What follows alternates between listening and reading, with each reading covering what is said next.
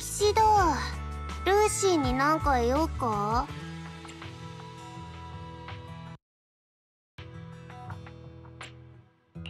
うん。ツール・ド・インフェルの当日のことでちょっと聞きたいことがあってね。おおプロキシはやっぱり口が硬いぜ。これなら安心だ。ふふ言いましたでしょ？秘密が守れてとっさのことに対処できなければプロ棋士としてはおまんまの食い上げですわ。今のってコンプラを試された感じ？一応パスしたんだよね。うんうん。さすがはプロ棋士だぜ。これからもカリュドーンのこと末永くお付き合いしてくれよな。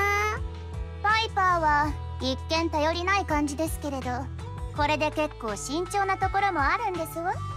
悪かったな。一見頼りなくてさ。まあいいや。早速内通者について話そうぜ。実はさ私たちがここで野営を始めてからなんかおかしなことが起きてんだよな。ブレイズウッドの町から工芸品が搬出されると決まってその日の夜町長の母さが23時間町を離れるんだ。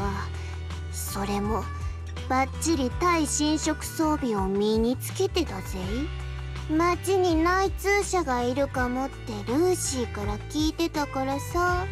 私寝つけないふりをして出かけようとしてた母さと偶然鉢合わせたんだ。そしたらあいつ自分も寝つけないから気晴らしだとか言ってそのまま家へ戻ってったんだけどそれから1時間経ってまた抜き足差し足で街を出て行ったんだぜ。カーサさんが内通者っていう線がぐっと濃くなった感じだね。はあ。こんなの秘宝も秘宝ですわカーサとカレドーンのこの交流は私がメンバーになる以前からのものでしてよ。私たちがここを拠点にしているのもそうして築かれた長年の信頼があってこそなのに。それにシーザーはカーサのことを実の姉のように慕ってますわ本当に彼女が裏切り者だとしてそのことがあれの耳に入ったらシーザーショックだろうね。ですからこの件は内密に調査するしかないんですわ。最悪の予想が当たっていた場合でもシーザーに蹴取られることなく解決すべきですわね。まったく厄介だな。下り坂で急カーブに差し掛かった瞬間ブレーキがぶっ壊れてたって気づくようなもんだぜ。まこうなったら身構えるだけ無駄っていうかなるようにしかなんないからな。それがカリュドーンの子ってもんで。パイパーの言う通りですわ。ちょっとつ盲信の4文字に退くの字が入る隙間なんてありませんもの。プロキシさん数日のうちにまた町から貨物が出るそうですわ。母さんもきっといつも通りに行動するはず。彼女をつけて何をこそこそしてるのか暴いてやりますわよ。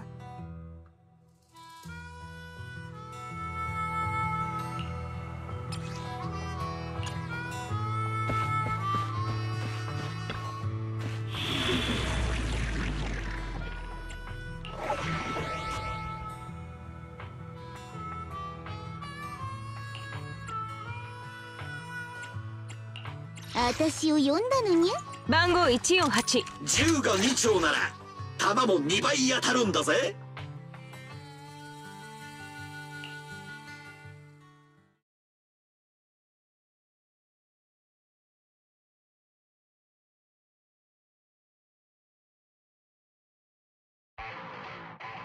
よしフォローに入りましたわ。バーニスとシーザーの方は大丈夫そう？シーザーはもう寝てましたわ。あれで結構ルーティンはかっちりしてる方ですのよバーニスの方なら俺が手を打っておいた。丸一日スパーリングに付き合ってやったからな。もう起き上がる気力もないだろさすがに俺も堪えた。今日出会うエーテリアスには申し訳ないが痛みなく消し去ってやるってのは無理な相談だ。お黙りなさいですわライトそもそもあなたがニトロフューエルをきちんと隠せていればこんなことにはならなかったのですから。では参りましょう。この件は私たち3人とプロ騎士さんだけで何とかしますわよ。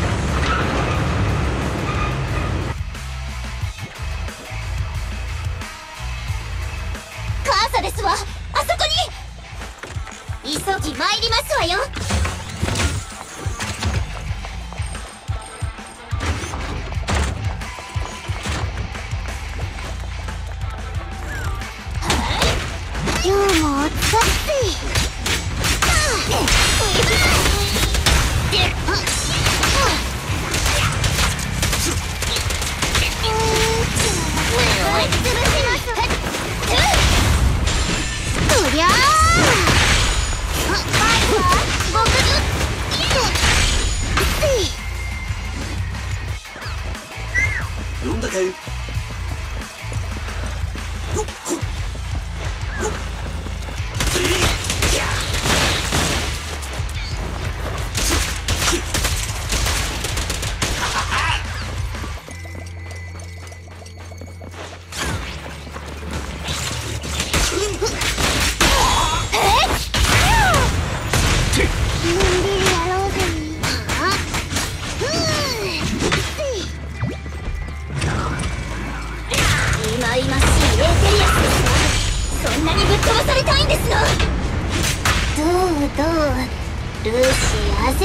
わかるけど落ち着けって。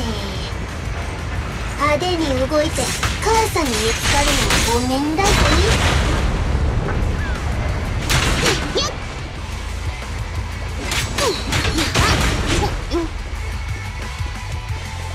俺に任せ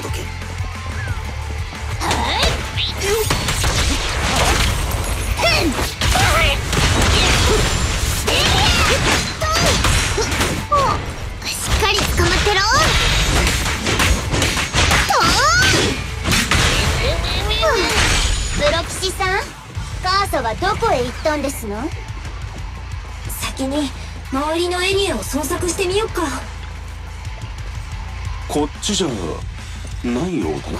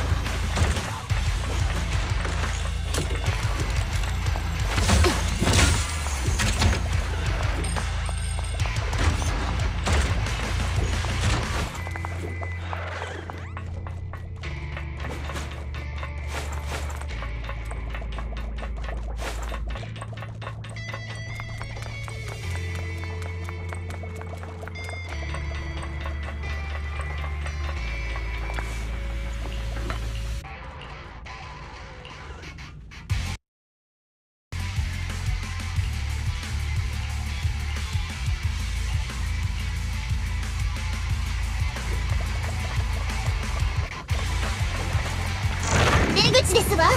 参りましょう。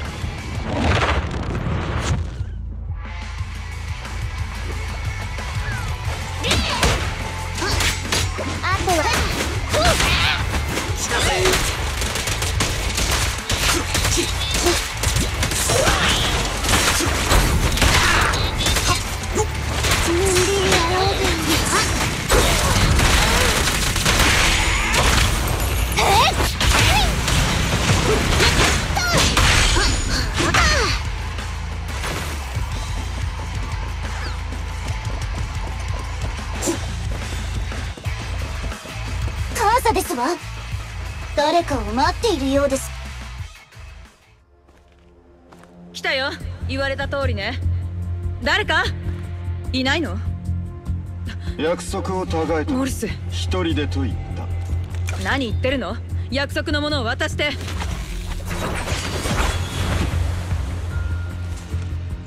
それには相応の代償がいるな。いっそ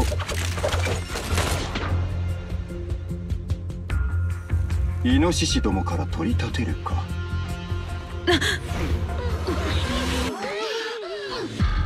おい今のはまぐれじゃないぞ。遠慮はいらないってわけですわね。モレス母さんまとめて分からせますわシーザーからの信頼を知っててよくもこんな真似がブロクシさん待ってちょっと近づいて説明させてちょうだい。あなたは現行犯でしてよ。何を弁解するって言うんですの。一体どんな便宜を図ってもらったんですか。それは勘違いだよ。これは街が生きていくのに今すぐ必要なものなの。ガソリンスタンドが枯れちまってから。街は本当に焼け細っているんだ。なんですって。そんなこと今までに一度も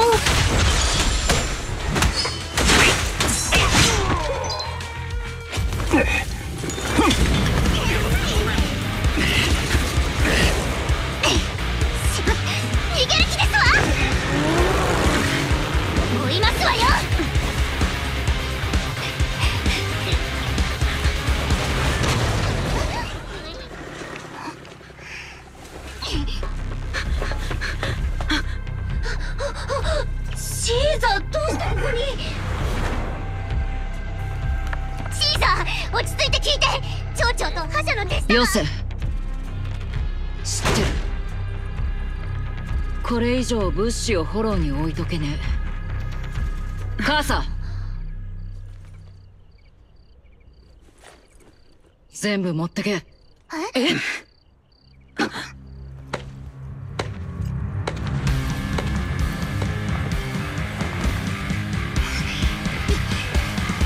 覇者ポンペイ久しいな。カリュドーンの子シーザーよ。ビッグダディのそばにいたあの小娘が部下を連れて俺の部隊に足をかけているとは覇者ポンペイカリュドーンの子は今もまだあなたを連盟の長と認めてはいますけれど。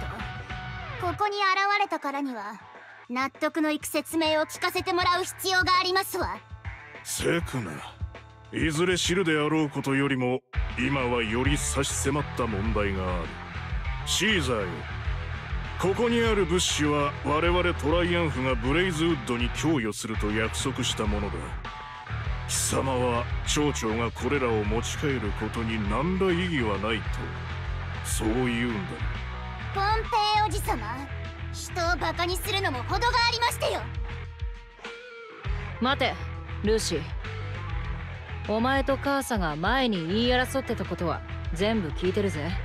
この箱の中身も確認したが確かに食料と薬だ。嘘はついてねえんだろ